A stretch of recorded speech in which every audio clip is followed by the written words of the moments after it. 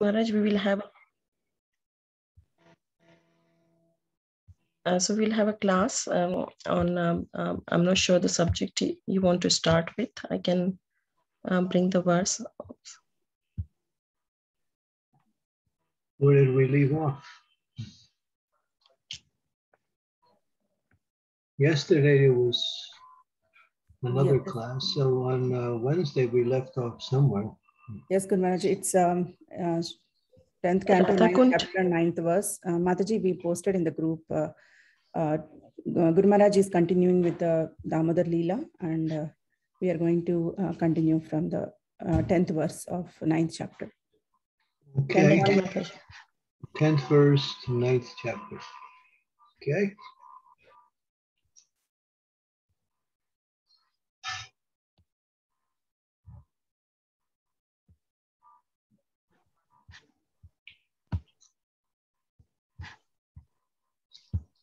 I'm just opening Guru Maharaj.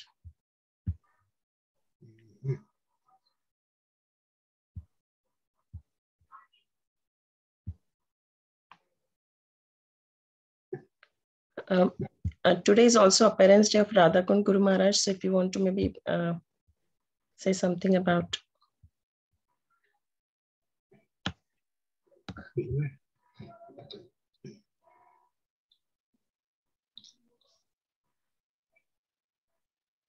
Mm-hmm. Okay. Om Namo Bhagavate Vasudevaya. Om Namo Bhagavate Vasudevaya. Om Namo Bhagavate Vasudevaya. So a continuation with the Leelas, uh, Sri Damodar here on the ninth chapter of the 10th canto, verse number 10.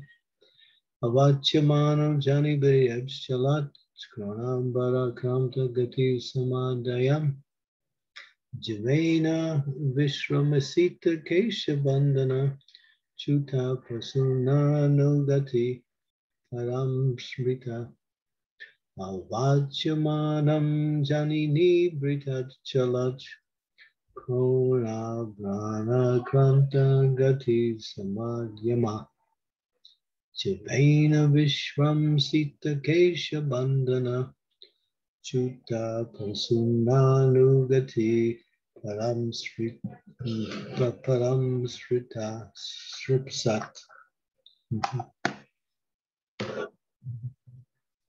Translation While following Krishna, Mother Yasoda her thin waist overburdened by her heavy breasts, naturally had to reduce her speed. Because of following Krishna very sweet, swiftly, her hair became loose and the flowers in her hair were falling after her. Yet she did not fail to capture her son Krishna. Purport Yogis cannot capture Krishna by severe penances and austerities. But Mother Yasoda, despite all obstacles, was finally able to catch Krishna without difficulty.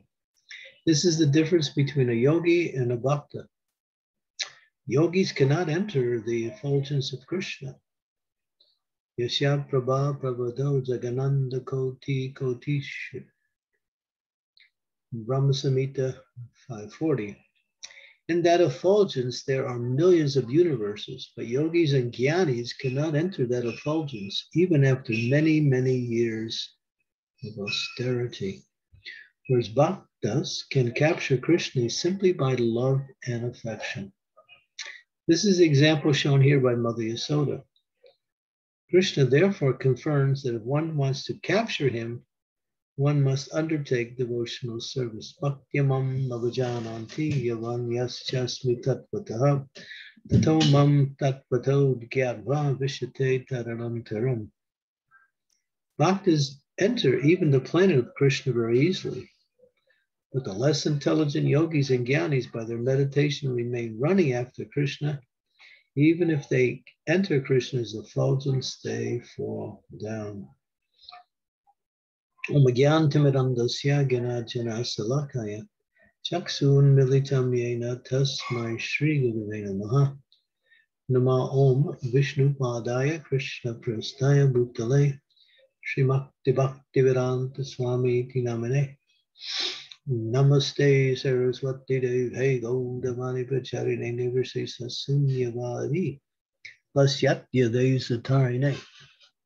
वंशकौपादरूपश्च कृपा सिन्धुभैवचापथितानं भावनेभ्यो वैष्णवेभ्यो नमो नमः जय श्रीकृष्ण चैतन्य प्रभु नित्यानन्दा श्री अद्वैत गदाधर शिवासरि गौर भक्तवृन्द हरे कृष्णा हरे कृष्णा कृष्ण कृष्ण हरे हरे हरे राम हरे Ram Ram Ram Hare Hare so it's an interesting comparison that's being explained here.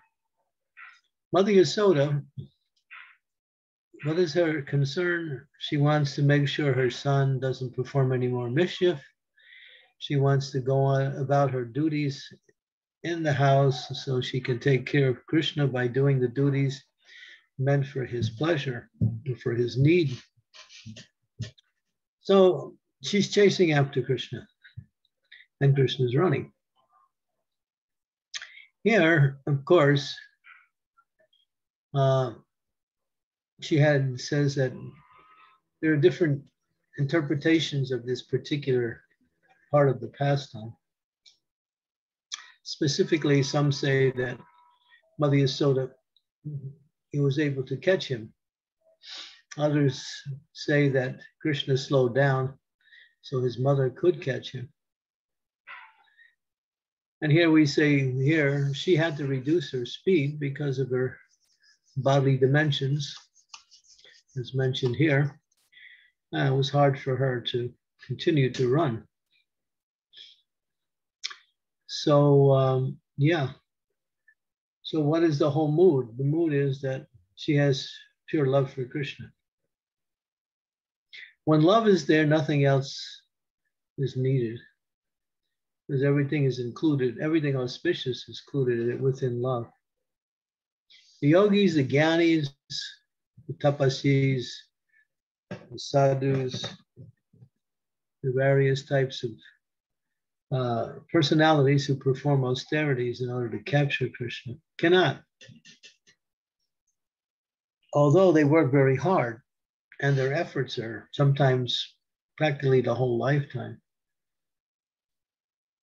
And they give up a lot of things. Of course, they make elevation into the Brahminic, uh, Brahmani effulgence, but they can't capture Krishna. Well, only by devotional service. Bhakti Bhaktyamam mavajananti yasvan yaschat vitatpataha. Tatomam tatpato dyatvam vishateta anantaram. Krishna says that.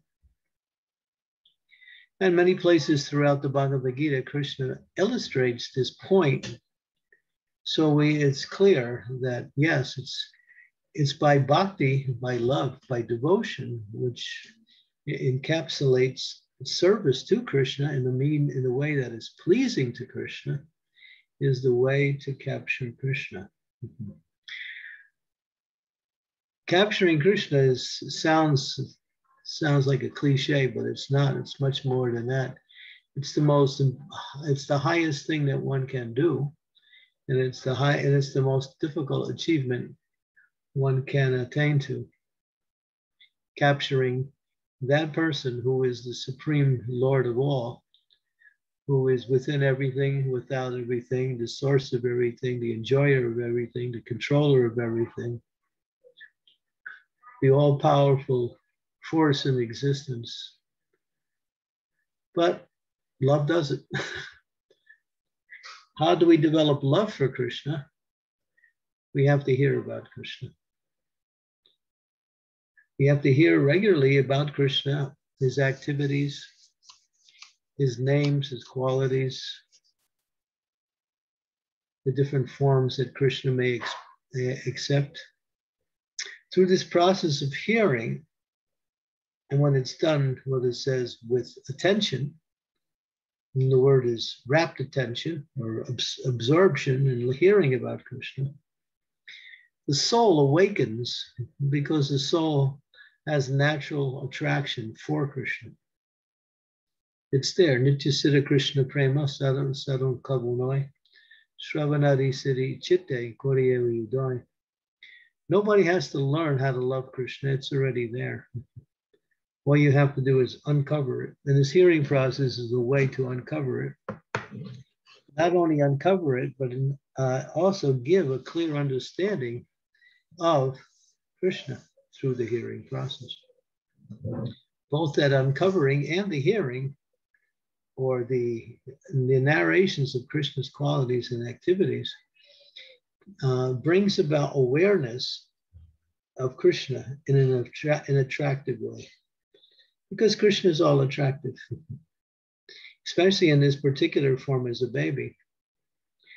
We can see how, especially those who, who have these motherly tendencies, either mothers themselves or those who have those tendencies, are very much attracted to Krishna in this particular mood as a little child, naughty, uh, performing various types of activities, likes to play, likes to be independent, very sweet to look at.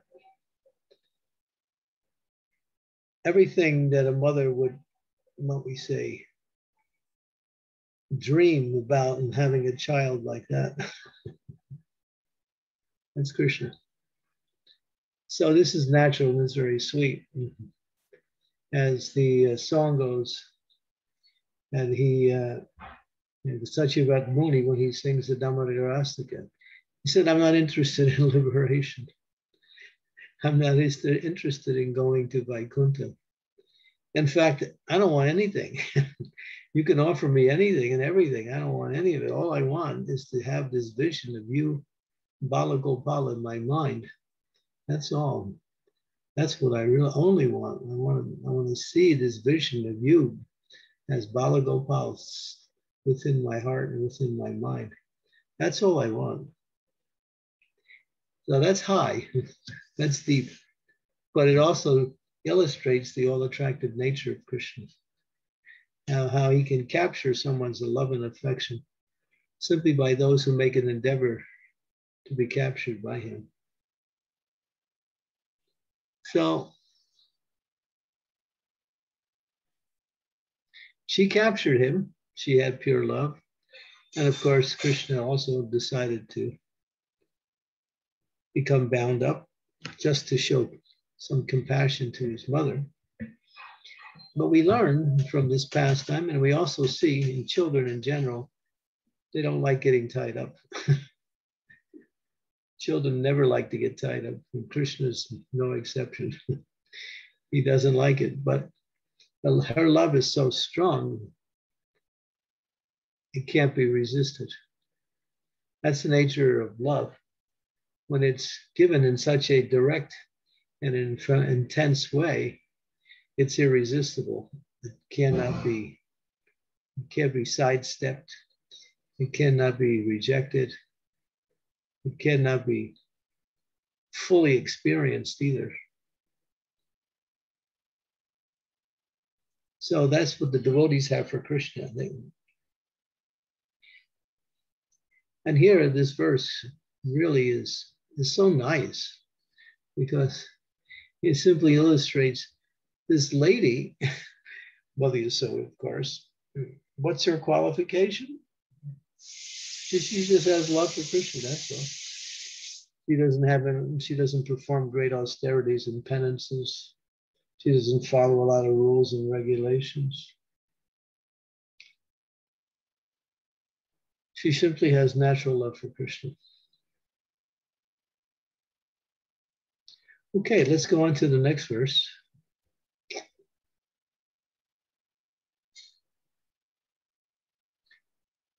Kritangasam tam parudatam aksini shantam nagyamnasini swatamina viksamanam vaya viva lekshanam Aste Grihidva Visayat Yavagurat.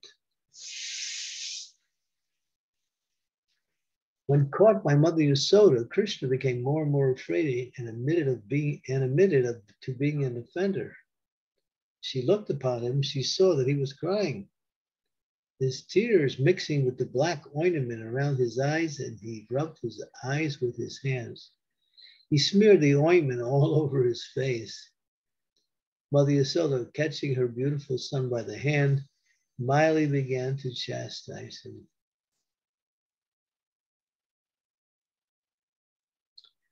From these dealings between Mother Yasoda and Krishna, we can understand the exalted position of a pure devotee in loving service to the Lord.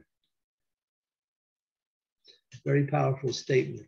From these dealings between Mother Yasoda and Krishna, we can understand the exalted position of a pure devotee in relationship to loving service to the Lord. Yogis, karmis, and Vedantists cannot even approach Krishna. They must remain very far away from him and try to enter his bodily effulgence, although this also they are unable to do so.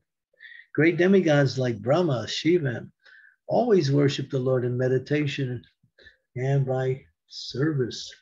Even the most powerful Yamaraj fears Krishna. Therefore, as we find in the history of Ajamil, Yamaraj instructed as follows not even to approach the devotees, but to speak of capturing them. In other words, Yamaraj also fears Krishna and Krishna's devotees.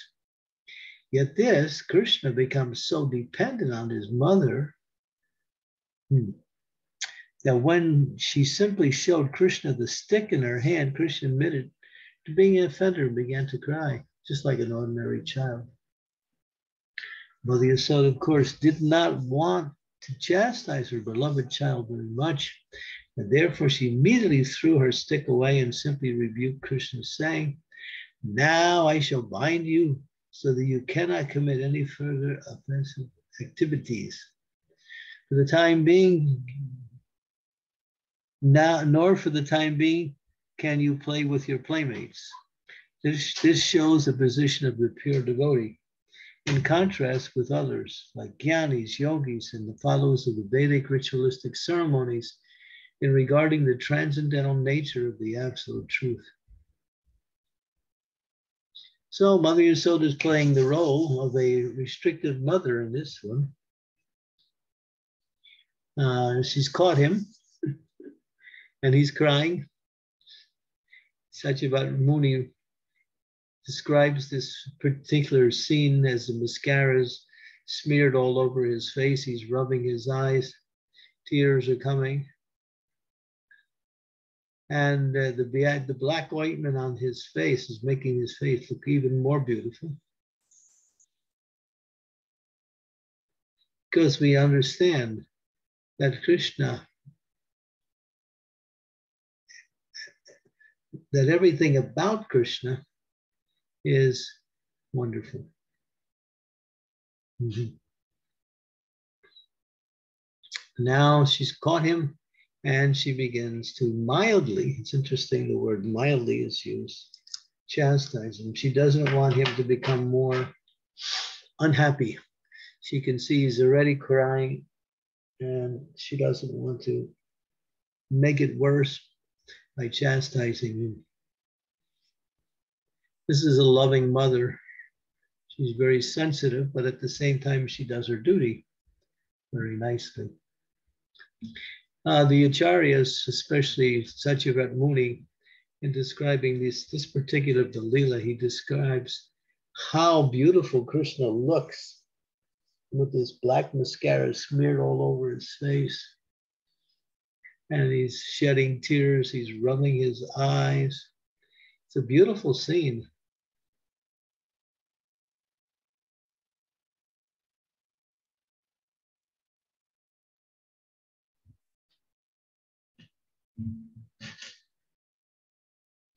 And here, Prabhupada wants to make a nice point, and he says, hmm, even Yamaraj Lord Brahma, Shiva, even they worship the Lord by devotional service, these powerful demigods, they worship a little bit, they worship out of awe and reverence, not so much out of love. They're worshiping a little bit out of fear because they have to they have to report to Krishna about the services that they're doing for Krishna. So they always want to make a nice report.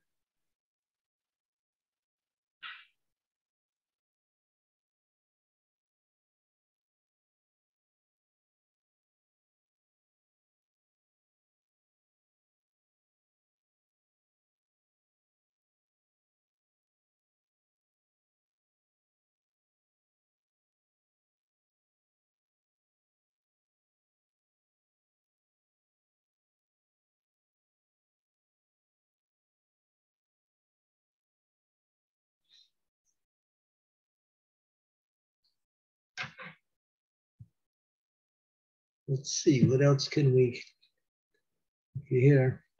I hope the devotees every night are offering their prayers by singing the Damodarastakam because of all of these things that we find in this particular chapter are also condensed within these eight beautiful prayers. And if you go deeper, you'll find that there are so many details to these prayers that open up the nature of the absolute truth in relationship to everything else. He's the power of all powers. You see, you'll see uh, in the readings of the prayers how Satyavrat Muni, uh, he's glorifying the Lord as the supreme power of all existence, but at the same time, he glorifies his sweetness as Krishna and Vrindavan. He's doing both sometimes in the same verse.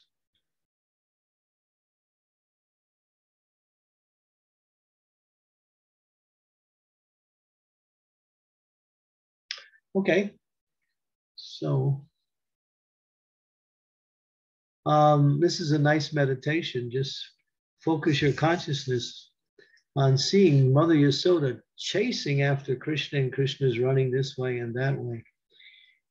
She's carrying a stick. Now she feels, oh, no, no stick.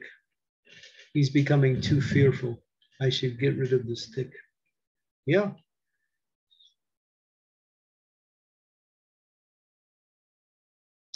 Okay, any questions?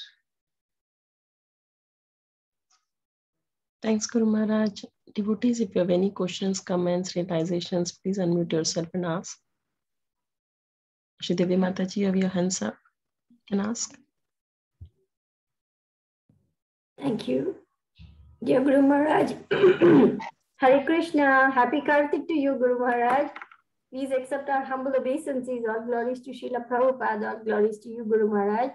Um, regarding this particular verse, yes, it's a very beautiful pastime, and we are all listening to you, you know, relating it. But at the same time, I have this question about the yogis, the jnanis, uh, and the karmis. I want to know what what is the destination of uh, these yogis because it says yogis cannot enter even the effulgence of Krishna. So that means only the jnanis uh, enter the effulgence of Krishna.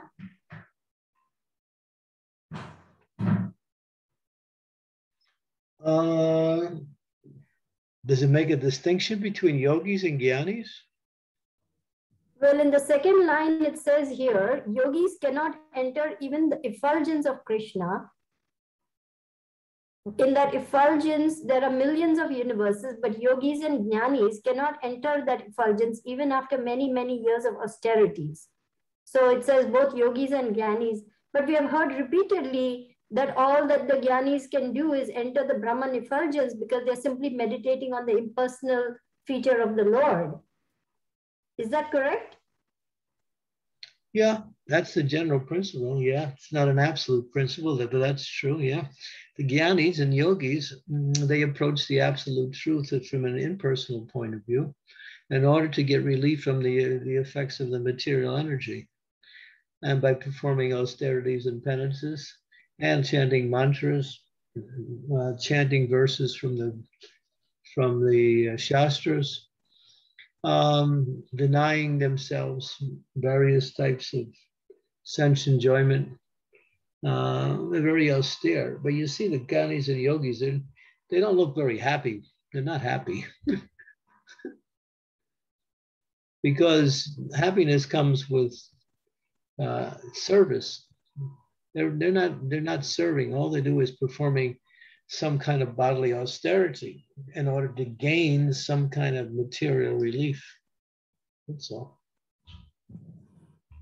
And they get that.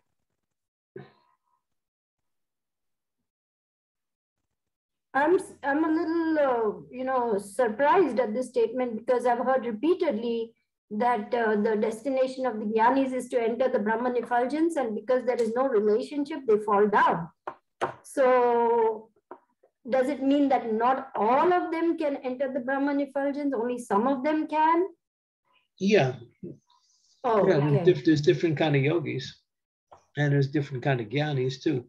There's varieties. You had the Gyanis, for example, were the four Kumar, they were Gyanis. But they gave up their gyan when they actually came in contact with the lotus feet of the Lord, mixed with the sandalwood and tulsi leaves. So they were not they were not envious. But many of the Gyanis are envious because they want the position of, of the Lord through through austerities and penances. Mm-hmm. And the yogis are meditating on the Paramatma feature of the Lord and performing austerities and penances. But for them also, the destination is the Brahman effulgence.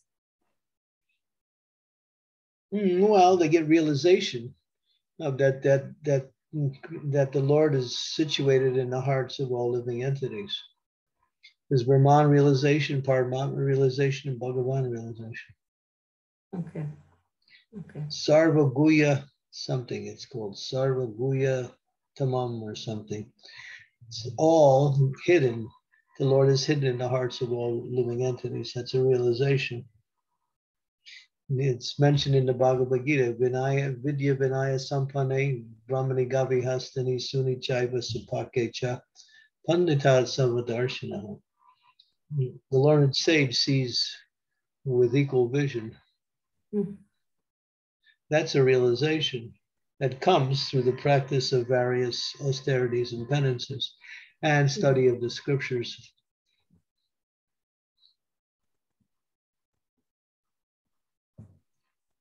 Okay. Okay. I'm getting a Yeah. I mean, you can't put all the gyanis, all the yogis, all the tapasis in the same category. There's varieties. Mhm, mhm. Okay. Mhm. And the karmis can either again come back, uh, taking birth, or they can move to the higher planetary, heavenly planets. Is that right? Is that correct? Pious karmis can. Okay. They can move to higher planets, but not the impious ones. Mhm, mhm. And there's also karma yogis too. There's karma yogis, jnana yogis, bhakti yogis, and then there's karmis. Karmis are just the gross materialists. Karma yogis, mm, they can elevate themselves to higher planetary systems, and also they can also get a, uh, a sense of detachment. Mm, that's mentioned also in the Bhagavad Gita. Karma yoga is mentioned there. Jnana yoga is mentioned there. Krishna spends enough time with these two categories in different verses. Yagnartha kamano yagto loko yam kama bandhanaha tarartha kama konteya mukta sunda samachara. Hmm. That's uh, 3 9 in the Bhagavad Gita. That's one verse. Engaging in activities and offering the results of the activities as a service to the Supreme Lord. That's Karma Yoga.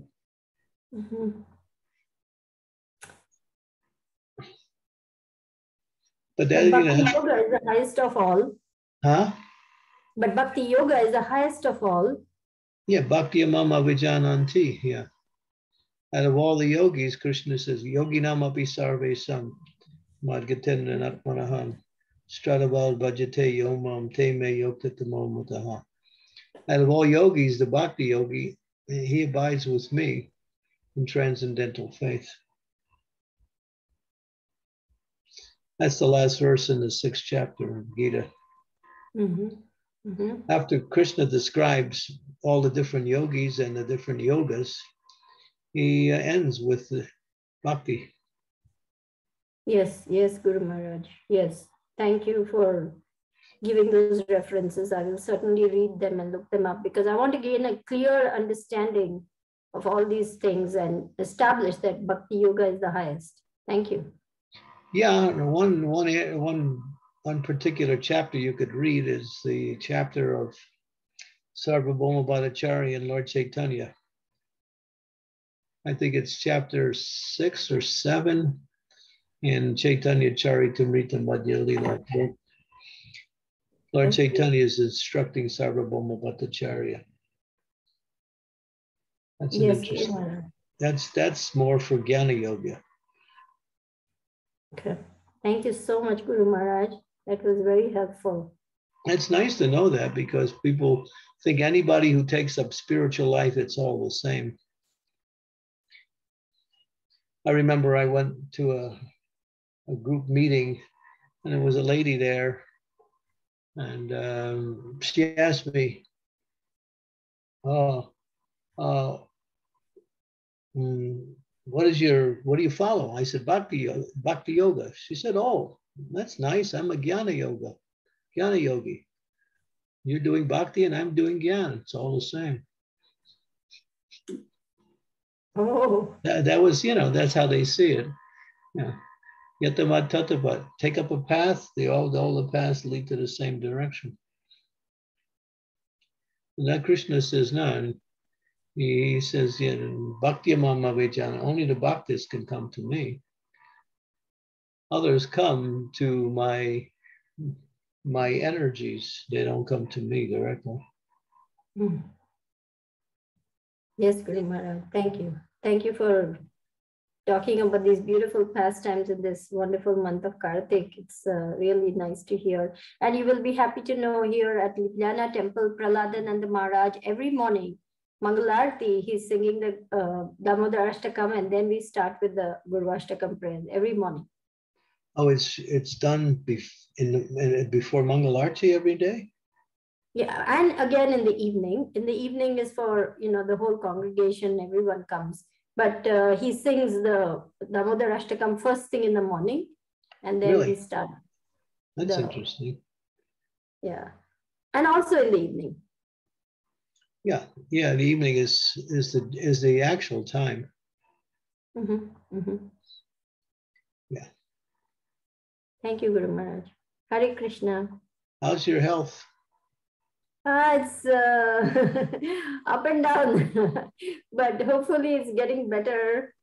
I think. You're getting help. From, yeah, getting help so, I'm, yes, I'm seeing him on October 31st and he's going to do some more intensive treatment. He said that you need a little more work like that. So it's going. If you stay with it, you'll get the results. Yes, Guru Maharaj, I'm trying. I'm very impatient person. It's very difficult to stay with anything. Ayurveda, you can't be impatient with because it's long term and it's it's thorough and it's successful but you have to stick with it. And that's why people don't take up Ayurveda because it's takes it takes a while, takes some discipline. It's mostly eating discipline. The the restrictive diets and all these things are all are required in order to get, you know, get yourself up to a standard where you can develop your health again. Yes, Guru Maharaj, please give me your blessings that I stick with the diet and stick with the teas and medications and everything because uh, this is all, you know, I'm not used to all this stuff, you know, so it's really challenging. Yeah, pray to Dhanvantari. that pastime is going on in the mornings. exactly that pastime. Dhanvantari has just appeared from the ocean of milk.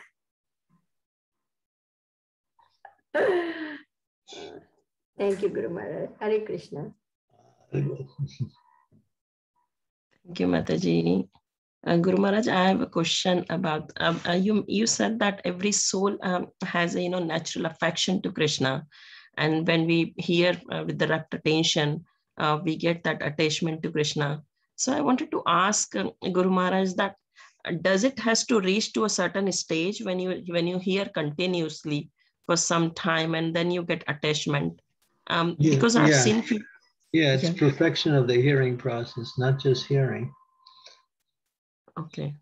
You have to hear for a long time and, and, and with attention regularly. Mm-hmm. Okay. When you get to the point where your hearing becomes so strong that you all you want to do is speak about what you hear, then you know you've re- you're reached the level of hearing. Mm-hmm. When you when you have this strong desire to speak, uh, you're here. That that comes by that comes by way of proper hearing, developed hearing. If you're this hearing, you don't, you don't have any inclination to speak about Krishna, that means your hearing still needs to still need to continue that the hearing process.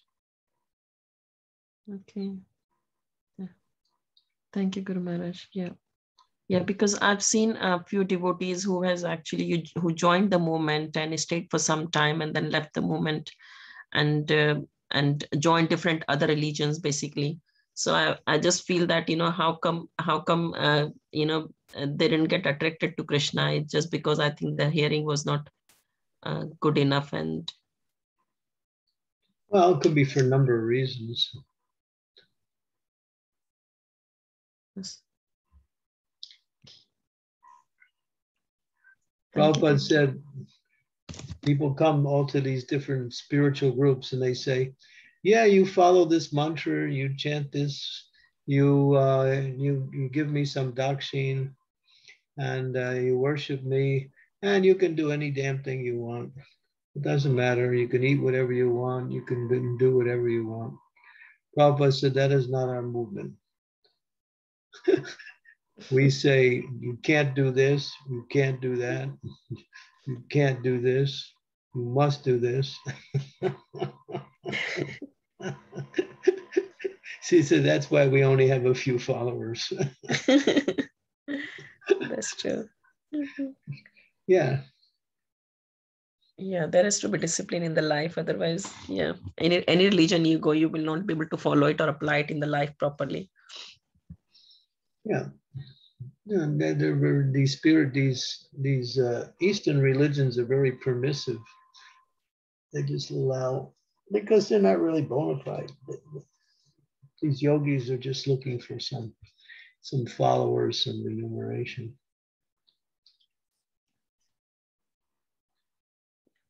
Thank you, Maharaj. Yeah.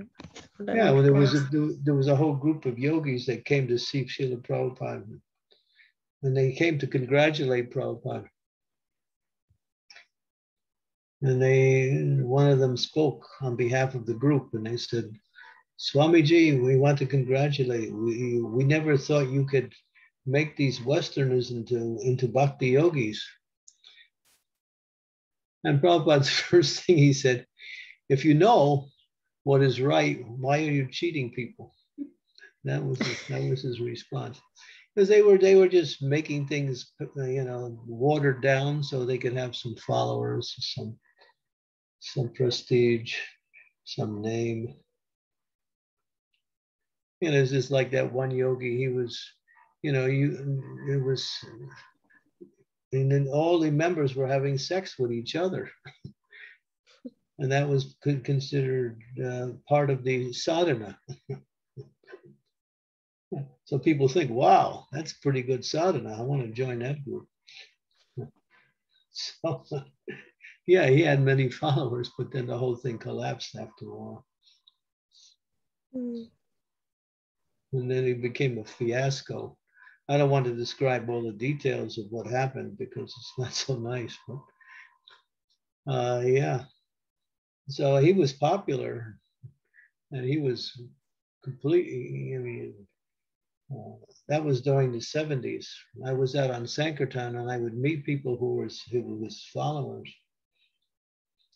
Uh, but so Guru Maharaj, they were miserable. So Guru Maharaj, uh, do you think when if someone uh, like uh, in our context, if someone has left the movement and you know decided to join some other group or something, do you think we should you know uh, try to convince them to come back, or uh, sh should we leave them to their decision and uh, not bother them? That depends on the person. Okay. And on the situation, yeah, if you can save them from going, that would be a nice service but you have to be able to see why are they leaving? Hmm. nobody leaves for a better philosophy. Generally people leave because they don't feel like they're treated properly. Or they're not getting the treatment they expect. Hmm. uh, but nobody leaves because they come up with a better philosophy. It's, it's just this is just not heard of, you know. Thank you, Guru Maharaj. Yeah, this is helpful. Hmm. Thank you. Can I ask one more question, Guru Maharaj? Uh, is there anybody else out there with questions? Hare Krishna, dear Gurudev. Um, please accept Swaha. humble obeisances, all glories to Srila Prabhupada. All glories to you. I have one question. If can I ask? Um, I I'm offering uh, candles, um, uh, ghee candles um, every day twice, and I was thinking if I would offer like more than twice, it would be more spiritually bene beneficial or not. You're offering one candle every day, and you want to offer more than one? No, I'm offering um, twice a day. Uh, and mm -hmm. if I, I thought if I would offer more, it, is, is it would be more spiritually benefiting or not? Well, the benefit comes with the devotion, not so much the the offering is just a way to show devotion. So if you're calculating by, well, if I do 10 offerings, I get more benefit that's material. But if you're thinking, if you want to, if you have, if you're inspired by the devotional mood of wanting to offer the candle, because the candle represents the devotion in the heart of the devotee. The light is simply a, a symbol of one's love for Krishna. So when if you're if you're in that mood and you're offering, then that's yeah, then that's good. Do more. But if you're thinking, well, you know, I did six candles today, I'll do 10 tomorrow and I'll get more mercy. then that's that's that's my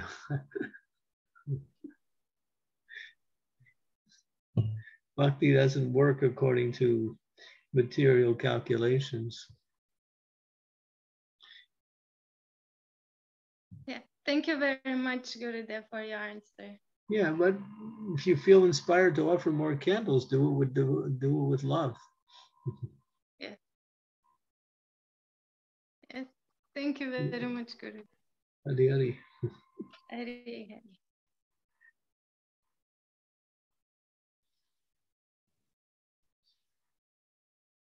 Devotees, is there any other questions?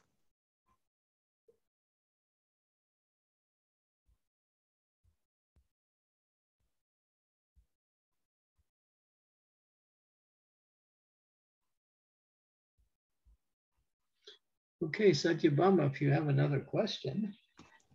Thank you, Guru Maharaj. I just wanted to ask about Satyavrata Muni, who has written the uh.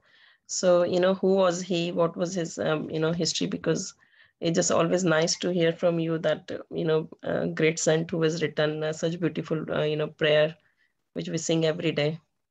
There's not much written about him. All we know is that he lived in Vrindavan for some time.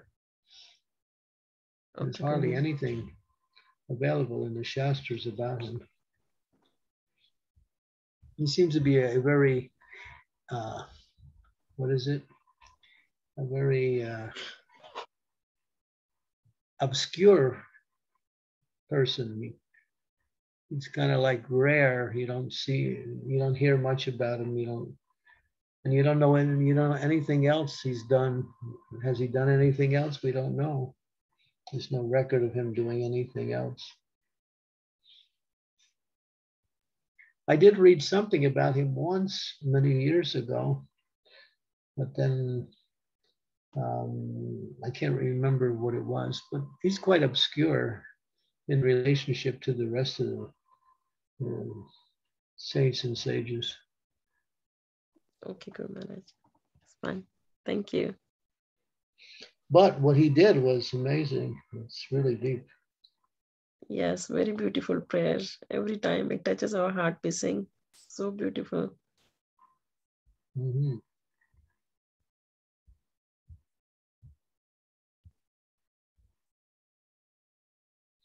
Anything else? Nothing from me, Guru Maharaj. Um, devotees, if there are any other questions, please ask.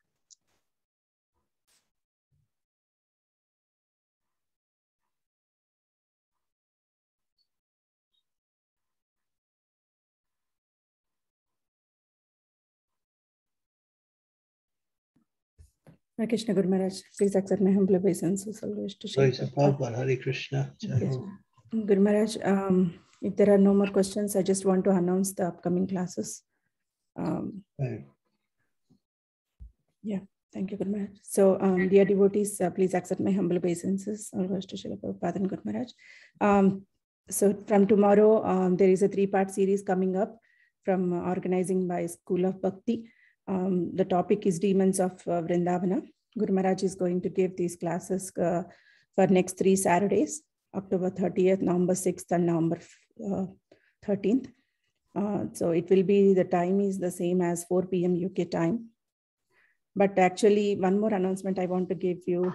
Um, yeah, before that, uh, you have to register for this course uh, to get the Zoom link. I already shared in the conference email and um, I shared just now in the WhatsApp groups too. So please register. There is a registration link and you have to register with your email address and you'll get the Zoom link. So that is for the tomorrow's class. And uh, from Sunday onwards, October 31st, the UK is having daylight savings time change, Guru Maharaj. So uh, it will be until November 6th and again November 7th, the USA is also having the change of daylight savings. So Oh, different days. So now uh, 11 o'clock Eastern time, the daily class, uh, where Guru Maharaj is right now in Eastern time. So it will be 3 p.m. UK time for the UK devotees, 3 p.m. And it'll be the same for me? Yes, Guru Maharaj, for you it's same, 11 o'clock. Mhm. Um, for the UK devotees it, and Europe devotees, I don't know about Europe, but I, I hope uh, they are also changing. Um, Um, I don't think so, okay, Guru Maharaj. But you can check on that. Yes, Guru. So And then UK what- devotees, uh, from Sunday onwards, it will be 3 p.m. UK time until November 6th. From November 7th, again, US will change time, so it will become equal then. So again, the same 4 p.m. UK time and 11 o'clock Eastern time. So for me, it's, it stays the same. Yeah, 11. it's, yeah, yes, Guru Maharaj. Okay, good. Good, good. Yeah, I'll mention this change again in the WhatsApp group uh, for the devotees. Thank you so much. Okay, good. Um, is your husband there? Um, he's in a meeting, Guru Maharaj. I'll ask him to call you. Um, I wanted to respond to his email. And um, so I just thought if he was there, I could just mention. But uh, have him, uh, well, have him call me on my uh, WhatsApp, Yes, good Maharaj. Sure. Okay, when he's done. Yes, good Maharaj. Okay. Thank you very much. Thank you, good Maharaj. Hare Krishna. Satyabhama, thank you. Thank you, Guru Maharaj. Hare Krishna. Srila Prabhupada ki jai, Samaveda Bhaktivinoda ki jai. Guru Maharaj ki jai.